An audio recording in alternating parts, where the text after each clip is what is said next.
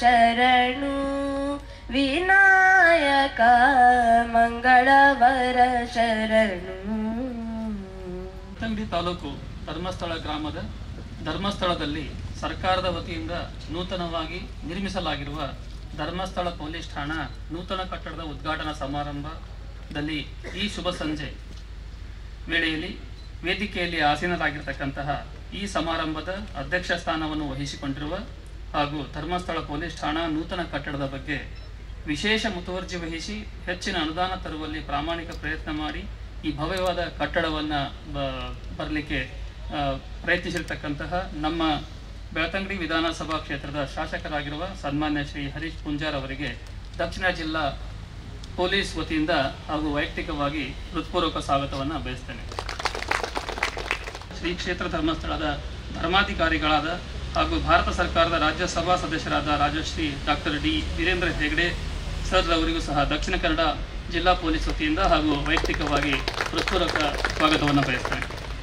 ಪೂಜ್ಯ ಕಾವಂದರು ಶುಭಾಶೀರ್ವಚನವನ್ನು ಮಾಡಿ ನಮಗೆ ಅರಸಬೇಕು ಅಂತೇಳಿ ವಿನಂತಿಸಿಕೊಳ್ತೇವೆ ಈ ಕ್ಷೇತ್ರಗಳಲ್ಲಿ ಯಾವಾಗಲೂ ಕೂಡ ರಕ್ಷಕರು ಅಂತಂದರೆ ನಮ್ಮ ದೇವದೇವರುಗಳು.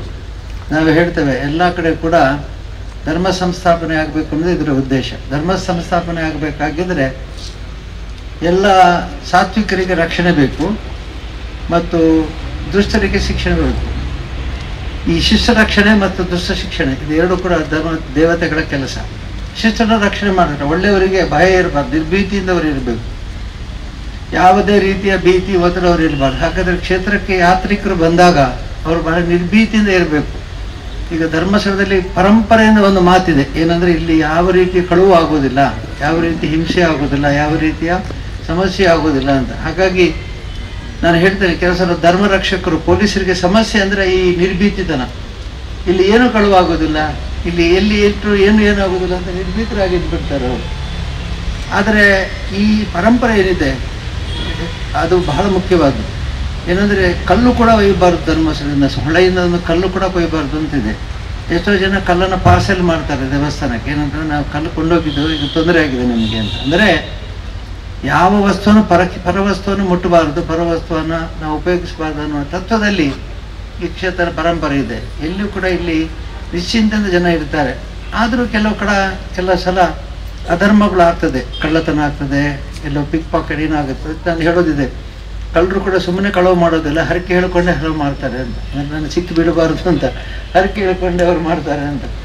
ಹಾಗಾಗಿ ಅಧರ್ಮಿಗಳಿಗೆ ರಕ್ಷಣೆ ಸಿಗಬಾರ್ದು. ಅವ್ರಿಗೆ ಶಿಕ್ಷೆ ಸಿಗಬೇಕು. ಧರ್ಮಗಳಿಗೆ ರಕ್ಷಣೆ ಸಿಗಬೇಕು. ಶಿಸ್ತರಿಗೆ ರಕ್ಷಣೆ ಇರಬೇಕು. ನಿರ್ಭೀತಿಯಿಂದ ಇರಬೇಕು. ಅವರು ಯಾವದ ರಾತ್ರಿ ಹನ್ನೆರಡು ಗಂಟೆ, ಒಂದು ಗಂಟೆ ಆದರೂ ಕೂಡ ಈ ರಾಜ್ಯದಲ್ಲಿ ಅಥವಾ ದೇಶದಲ್ಲಿ ನಿರ್ಭೀತಿಯಿಂದ ಅವರು ತಿರುಗಾಡ್ತಾರಾದರೆ ಅದು ಒಂದು ಒಳ್ಳೆಯ ಸಮಾಜ ಮತ್ತು ಒಳ್ಳೆಯ ರಕ್ಷಿತ ದೇಶ ಅನ್ನುವಂಥ ಹೆಸರು ಬರುತ್ತೆ. ಹಾಗಾಗಿ ಇವತ್ತು ಧರ್ಮ ರಕ್ಷಣೆ ಮಾಡೋದಕ್ಕಾಗಿ ಪೊಲೀಸ್ ಸ್ಟೇಷನ್ ಇದೆ. ಧರ್ಮಸ್ಥಳದಲ್ಲಿ ಪೊಲೀಸ್ ಸ್ಟೇಷನ್ ಬೇಕೇ? ಧರ್ಮಸ್ಥಳದಲ್ಲಿ ಕೂಡ ಕಾವಲು ಬೇಕೆ ಅಂತಂದರೆ ಹೌದು. ಯಾಕೆ ಅಂತಂದರೆ ಮನುಷ್ಯನ ಮನಸ್ಸಿನಲ್ಲಿ ಸ್ವಲ್ಪ ಸ್ವಾರ್ಥ, ಆಸೆ, ಲಾಲಸೆ ಮತ್ತು ಆಸೆ ಬಂದುಬಿಟ್ರೆ ಇನ್ನೊಬ್ಬರ ವಸ್ತುವನ್ನು ಅವನು ಪರಿಹ ಅಪ- ಅಪಹರಿಸ್ಬೋದು ಅಥವಾ ಅಧರ್ಮಕ್ಕೆ ಪ್ರೇರಣೆ ಆಗ್ಬೋದು ಎಷ್ಟೋ ಸರ್ ನಾವು ಹೇಳ್ತೇವೆ, ಏನಂತಂದರೆ ಹೃದಯದಲ್ಲಿ ಎರಡು ಇದೆ. ಒಂದು ಎಡೆ ಎದುರು, ಎಡಗಡೆ, ಒಂದು ಬಲಗಡೆ. ಇದರ ಕೆಲಸ ಏನಂದ್ರೆ ರಕ್ತ ಶುದ್ಧ ಮಾಡುವಂಥ ರಕ್ತ ಶುದ್ಧ ಮಾಡುವಂಥದ್ದು ಹೃದಯದ ಕೆಲಸ. ಶುದ್ಧ ಮಾಡಬೇಕು ಯಾಕೆ ಅಂತಂದ್ರೆ ದೇಹಕ್ಕೆ ಶುದ್ಧ ರಕ್ತ ಇಲ್ಲದಿದ್ದರೆ ಬದುಕಲಿಕ್ಕೆ ಸಾಧ್ಯವಿಲ್ಲ. ಇಲ್ಲಾಂದ್ರೆ ಒಂದು ಹೃದಯ ಕೆಲಸ ಮಾಡದೇ ಇದ್ದರೆ ತಕ್ಷಣ ಡಾಕ್ಟರ್ ಹತ್ರ ಹೋಗ್ತೇವೆ. ಏನಾದರೂ ಮಾಡಿ ಹೃದಯವನ್ನು ಸರಿ ಮಾಡಿ, ಇಲ್ಲದಿದ್ದರೆ ಅಶುದ್ಧ ರಕ್ತ ನಮ್ಮ ಎಲ್ಲ ದೇಹವನ್ನು ನಾಶ ಮಾಡುತ್ತದೆ ಅಂತ ಹೀಗೆ ಶುದ್ಧೀಕರಣ ಮಾಡುವಂಥ ಕೆಲಸವೇ ಈ ಪೊಲೀಸ್ ಠಾಣೆಯಿಂದ. ಹಾಗಾಗಿ ಇವತ್ತು ನಮ್ಮ ಪೊಲೀಸ್ ಠಾಣೆಯಲ್ಲಿ ಒಳ್ಳೆಯ ರೀತಿಯಲ್ಲಿ ಇದನ್ನು ವಿನ್ಯಾಸ ಮಾಡಿ ಕಟ್ಟಿದ್ದಾರೆ. ಒಳ್ಳೆಯ ಫಿನಿಶಿಂಗ್ ನಾನು ಒಳಗೆ ಹೋಗಿ ಬಂದೆ. ಬಹಳ ಚೆನ್ನಾಗಿ ರಕ್ಷಣೆ ಮಾಡಿದ್ದಾರೆ. ನಮ್ಮ ಶಾಸಕರು ಹರೀಶ್ ಕುಶ್, ಹರೀಶ್ ಪುಂಜ್ ಬಹಳ ಆಸಕ್ತಿ ಬಗ್ಗೆ ಆಸಕ್ತಿ ವಹಿಸಿದ್ದಾರೆ. ಶಿಲಾನ್ಯಾಸ ಆಗುವಾಗಲೇ ಅವರು ಬಹಳ ಉತ್ಸಾಹದಿಂದ ಮಾಡಿದರು ಮತ್ತು ಅತ್ಯಂತ ಶೀಘ್ರವಾಗಿ ಕಟ್ಟಡ ಆಗಿದೆ. ಈಗಾಗಲೇ ಐನೂರು ದಿವಸದಲ್ಲಿ ಆಗಿದೆ ಅಂತ ಹೇಳಿದರು. ನೋಡ್ತಾ ನೋಡ್ತಾ ಇದ್ದಾಗೆ ಮೇಲೆ ಮೇಲೆ ಬಂದು ಆ ಕಡೆ ಈ ಕಡೆ ಹೋಗುವಾಗ ಒಂದು ಸಲ ಸ್ವಾಭಾವಿಕ ಕಣ್ಣು ಈ ಕಡೆ ತಿರುಗ್ತದೆ. ನೋಡ್ತಾ ನೋಡ್ತಾ ಇದ್ದ ಹಾಗೆ ಸಾಕ್ಷಾತ್ಕಾರವಾಯಿತು. ಮತ್ತು ಇವತ್ತು ಎಲ್ಲ ರೀತಿಯಿಂದಲೂ ಕೂಡ ಒಳ್ಳೆ ರೀತಿಯಿಂದ ಮುಗಿಸಿ ಇವತ್ತು ಸೇವೆಗೆ ಬಿಟ್ಟಿದ್ದಾರೆ. ಪೊಲೀಸ್ನವರು ಅಂತಂದರೆ ಅವರು ಕೂಡ ಶ್ರಮಜೀವಿಗಳು.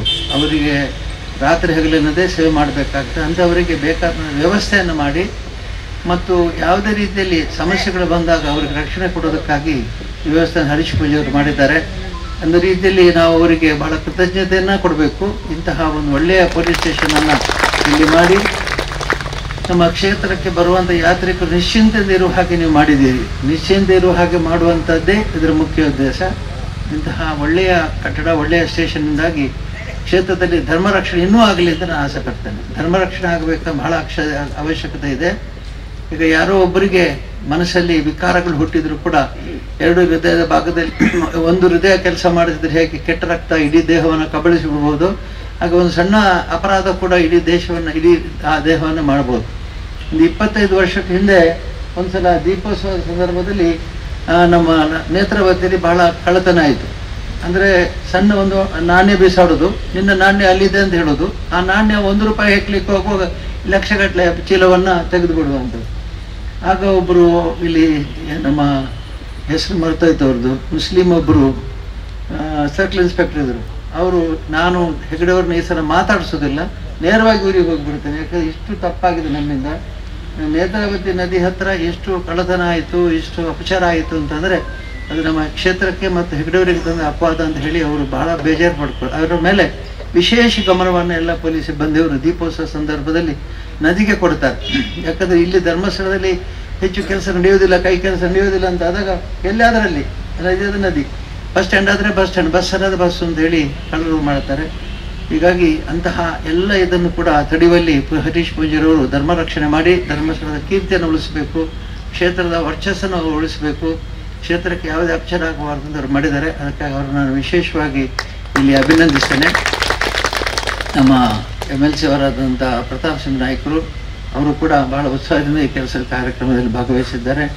ಇಲ್ಲಿ ಹಿರಿಯ ಪೊಲೀಸ್ ಅಧಿಕಾರಿಗಳು ಬಂದಿದ್ದಾರೆ. ಅವರೆಲ್ಲರೂ ಬಂದವರು ಈ ಕ್ಷೇತ್ರದ ರಕ್ಷಣೆಗಾಗಿ ಇರುವವರು ಯಾವತ್ತೂ ಕೂಡ.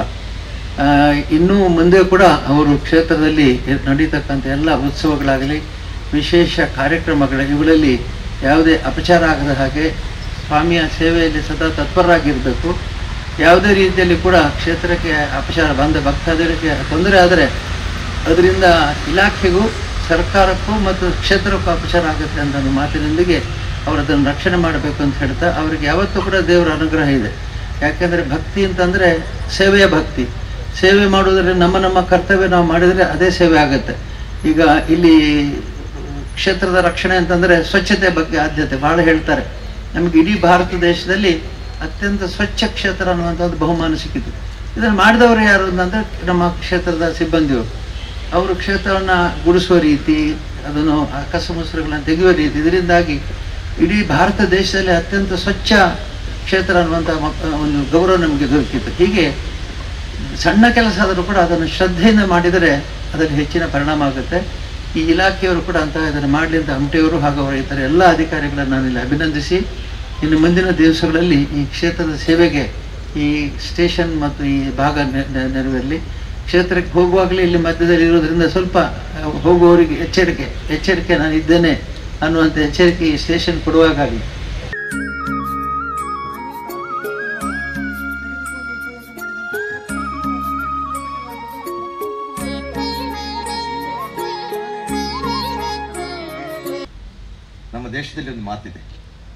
ಕಾವಿ ಖಾಕಿ ಮತ್ತು ಖಾದಿ ಈ ಮೂರು ಈ ದೇಶದ ಪ್ರಜಾಪ್ರಭುತ್ವದ ಒಂದು ಶಕ್ತಿ. ನನಗೆ ವಿಶೇಷ ಏನಂತ ಕೇಳಿದ್ರೆ ಧರ್ಮಾಧಿಕಾರಿಗಳು ಹೇಳಿದ್ರು, ರಕ್ಷಣೆಗೋಸ್ಕರ ಪೊಲೀಸ್ನವ್ರದ್ದು ಅಗತ್ಯ ಇದೆ. ಆತ್ಮನಿರ್ಭರ ಭಾರತಕ್ಕೆ ಮೂಲ ಶಕ್ತಿ ಯಾವುದು ಅಂತ ಕೇಳಿದ್ರೆ ಕಾಕಿ. ಧರ್ಮ ಜಾಗೃತಿಗೆ ಯಾವುದು ಶಕ್ತಿ ಅಂತ ಕೇಳಿದ್ರೆ ಕಾವಿ. ಪ್ರಜಾಪ್ರಭುತ್ವದ ಒಂದು ಮೌಲ್ಯಕ್ಕೆ ಒಂದು ಗರಿ ಸಿಗಬೇಕು ಅಂತಾದರೆ ಅದಕ್ಕೆ ಖಾದಿ. ಸೊ, ಈ ಮೂರು ಸೇರಿದರೆ ಭಾರತ ವಿಜೃಂಭಣೆ ವಿಜೃಂಭಿಸ್ತದೆ ನನ್ನ ಲೆಕ್ಕ. ಅದಕ್ಕೆ ಕೆಲವು ಜನ ಇರ್ಬೋದು. ನಮ್ಮ ಅಧಿಕಾರಿಗಳ ಧರ್ಮಾಧಿಕಾರಿಗಳು ಹೇಳಿದರು. ಎಲ್ಲದರೂ ಎಲ್ಲವೂ ನೂರಕ್ಕೆ ನೂರು ಇರುವುದಿಲ್ಲ.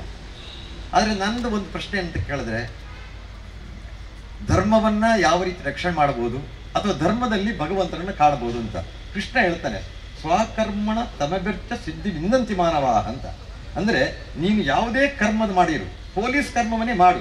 ಆದರೆ ಅಲ್ಲಿ ಕೂಡ ನೀನು ದೇವರನ್ನು ಕಾಣುವಂಥ ಕೆಲಸ ಮಾಡಿದರೆ ಖಂಡಿತವಾಗಿಯೂ ನಿರ್ಭಯವಾದಂಥ ಭಾರತಕ್ಕೆ ಅವರದ್ದು ಕೊಡುಗೆ ಸಿಗುತ್ತೆ ಅನ್ನೋದು ನನ್ನ ಅಭಿಪ್ರಾಯ. ಪೊಲೀಸ್ ಇಲಾಖೆ, ದಯೆ ಮತ್ತು ಭಯ, ಎರಡರ ಮಿಶ್ರಣ. ನೀವು ಕ್ರಿಮಿನಲ್ಗಳಿಗೆ ಭಯ ಕೊಡಬೇಕು. ಒಳ್ಳೆಯ ಸಜ್ಜನರಿಗೆ ದಯೆಯನ್ನು ಕೊಡಬೇಕು.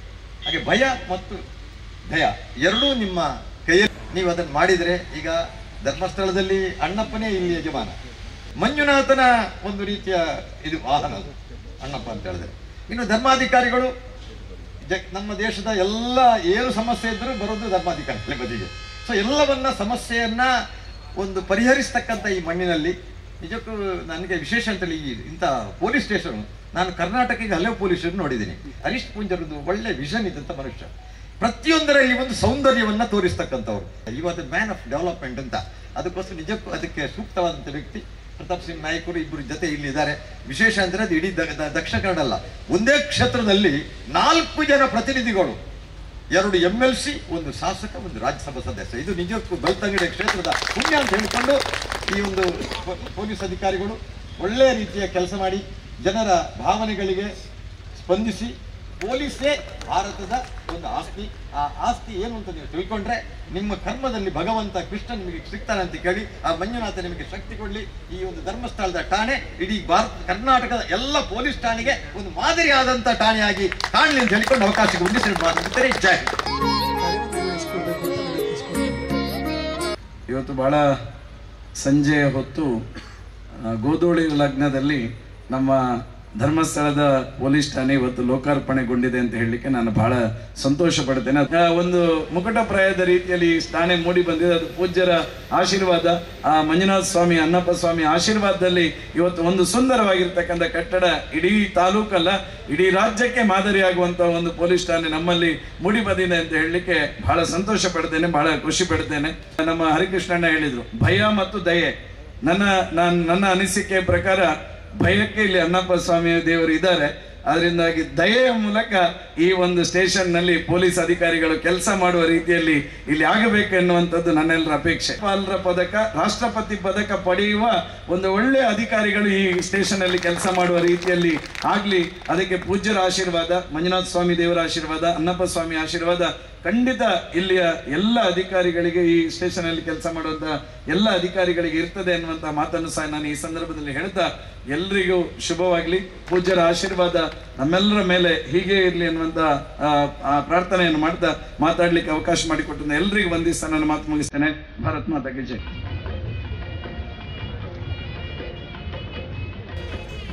ಉಪಹಾರದ ವ್ಯವಸ್ಥೆ ಇದೆ.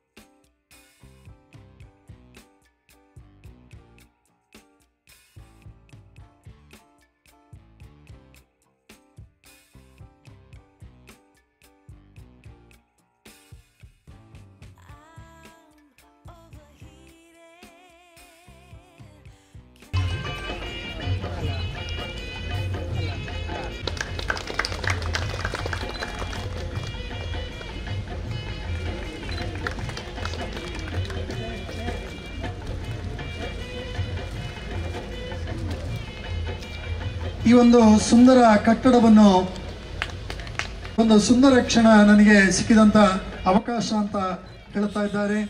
ದೇಗುಲದ